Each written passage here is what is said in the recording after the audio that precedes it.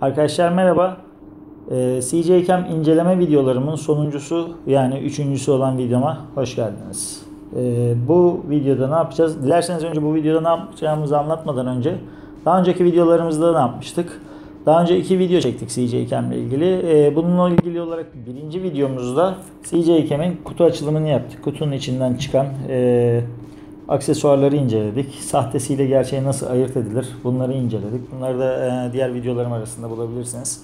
İkinci videomda ne yaptım? E, CJ Cam ile ilgili çektiğim. İkinci videomda da e, Mavişehir Bostanlı arasında bisikletle e, Bianchi'nin folding bike'ı üzerinde e, göğüs aparatı kullanarak bir çekim yaptık. E, istedim ki çekim kalitesini görün. Üzerinde bulunan dahili kamerasının pardon dahili mikrofonunu nasıl ses e, çekiyor, kalitesi nedir bunları e, görün istedim. Şimdi üçüncü videoda da ne yapacağız? E, üçüncü videomuzda da bu arkadaşın menüsünü inceleyeceğiz. Sağ üst köşede gördüğünüz üzere arkadaşlar CJ'in açılışında çıkan işte CJ logosunu görüyorsunuz. Ee, ilk video ekranı geliyor. Değiştiriyoruz. Fotoğraf ekranı değiştiriyoruz. Arkasından gelen playback ekranı değiştiriyoruz. Ve ayarlar menüsü. İşte resolution, TV out, on screen display, e, capture mode, e, ondan sonra HDR gibi çeşitli burada ayar seçenekleri mevcut. E, bu ayar seçenekler arasında benim dikkatimi çeken motion detection, hareket sensörü. Harekete duyarlı olması ve anti-shaking e, yani titreşim önleyici var.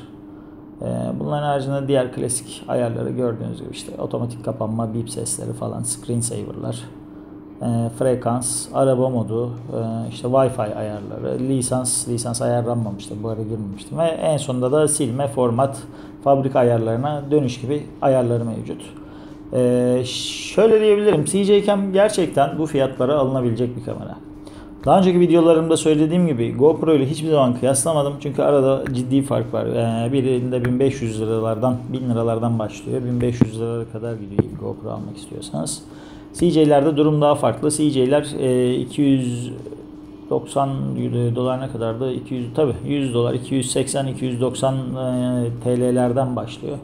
İşte 350 liraya göre yanındaki aksesuar pil hediyelerine göre gidebiliyor. E, görüntü kalitesine gelince bana göre e, bu sınıf bir e, kamera için, ucuz aksiyon kamerası için görüntü kalitesi gayet iyi. Üzerine bulunan mikrofon çok fazla iyi değil ama e, çok çok da aşırı da kötü de değil yani. Ben e, çekerken çok beğenmemiştim aslında ilk çekimleri incelediğimde ya çok kötüymüş falan demiştim ama daha sonradan videoda tekrar baktığımda o kadar çok da kötü olmadığını gördüm. Yani bu kamerayı 5 e, yıldız üzerinden değerlendirmek istersek bana göre 3.5 yıldızı hak eden bir kamera. Fiyat performans açısından değerlendirmek istersek 5 yıldız üzerinden 8 yıldız vermek gerekir diye düşünüyorum. Ee, bu kamerayla ilgili de söyleyeceğim şeyler bu kadar.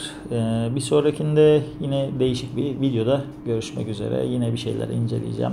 Ee, bu arada muhtemelen bundan sonra da herhalde Xiaomi ya da Xiaomi ya da Xiaomi diye değişik bir kamera daha var. Bu da CJ e, GoPro muadili bir kamera.